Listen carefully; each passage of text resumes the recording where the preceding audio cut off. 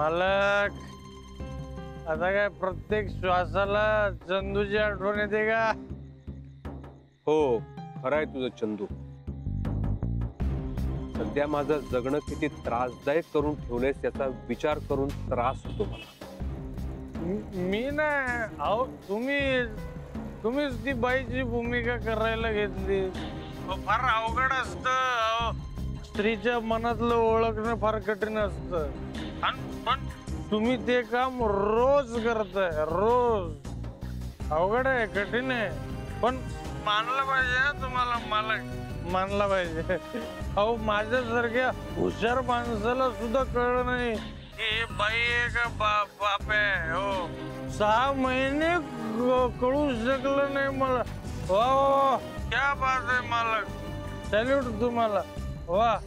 पण तुम्हाला सांगू काय? ह्याच्या पुढे तुम्हाला सगळ्या स्त्रीच्याच भूमिका येणार. मी तुमचं जगणं त्रासदायक करत नाही. तुम्हीच तुमचं जगणं त्रासदायक केलंय. गैरसमज आहे तुझं. माझ्या आयुष्यात मी काय करायचं ते करेन पण सध्या तू तुझ्या आयुष्याकडे लक्ष दे. अहो मी माझ्या आयुष्याकडे बघतोय मालक म्हणून तर तुमच्यासोबत बिझनेस करतोय. गैरसमज होतोय तुझा चंदू. तेच सांगतोय मी तुला. तुला जर वाटत असेल मी सोन्याचं अंड देणारी कोंबडी आहे तर तसं नाहीये. मी साप आहे साप.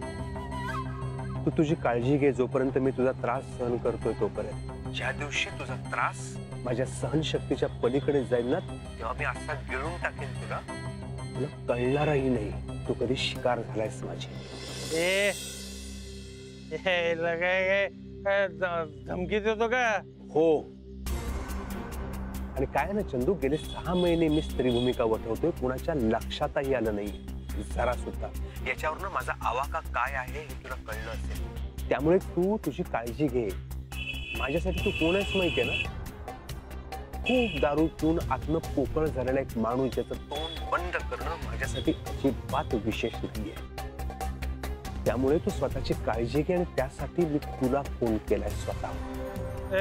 हॅलो. तू तू तू काय बोलतोय, काय कळ, कळतंय का तुला?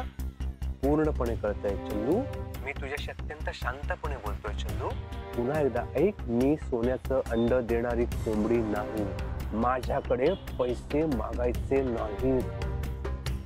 ज्या दिवशी मला तुझी दया येईल आणि तुझं वागणं सुधारतंय असं वाटेल ना, तेव्हा मी स्वतःहून स्वखुशीने देईन तुला पैसे. पण याच्यापुढे माझ्याकडे पैसे मागायचे नाहीत. ओभाड बंद ठेवायचं. एकदम चुप. पैसे देत नाही म्हणजे काय? द्यायला सगळ्यांना मी हॅल- ए.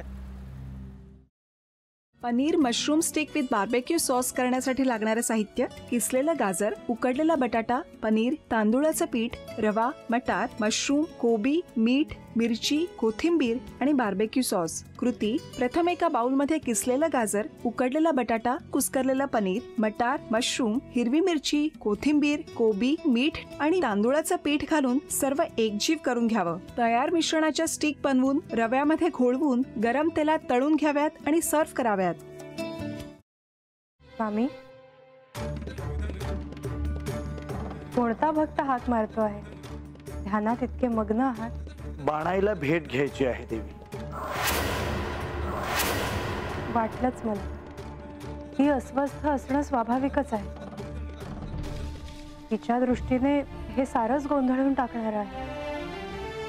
अशा वेळी तिला तुम्हाला किंवा मला भेटावं असं वाटणं हे स्वाभाविक आहे. नमस्ते अंकल जी वो हमें आपसे कशा करता आलास तू इथे? मिकीची चाळी करायला काय समजतो काय स्वतःला तू हा? अरे आजारपणात माझा जीव वाचला म्हणून घरातल्या पोरीबाळींवर? अरे कुठून कुठून येता तुम्ही? नाही ते उद्योग धंदे करता इथं? खपवून घेणार नाही मी सांगतो तुला. मी फार वाईट माणूस आहे लक्षात ठेव हा. पोलिसात देणार होतो तुला. केवळ विखे आडवाला म्हणून लक्षात ठेवलं ते इथून दिंड काढणार होतो तुझी मी. मामा आता आपण काहीच करू शकत नाही.